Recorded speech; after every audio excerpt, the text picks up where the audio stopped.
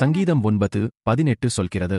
எளியவன் என்றைக்கும் மறக்கப்படுவதில்லை சிறுமைப்பட்டவர்களுடைய நம்பிக்கை ஒருபோதும் கெட்டுப்போவதில்லை.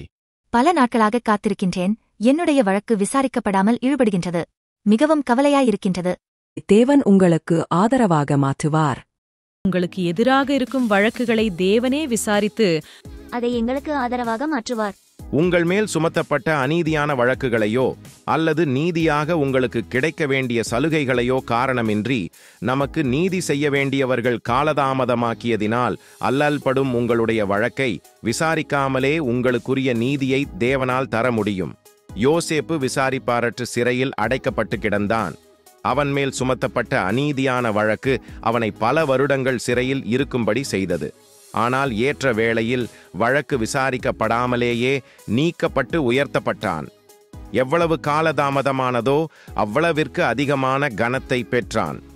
உங்களுக்கு எதிராக இருக்கும் வழக்குகளை தேவனே விசாரித்து உங்கள் மேல் நீதி இருந்தால் அதை உங்களுக்கு ஆதரவாக மாற்றுவார்.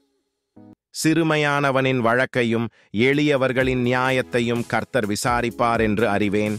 கர்த்தர்தாமே உங்களை ஆசீர்வதிப்பாராக. New Creation Church, Paris, France.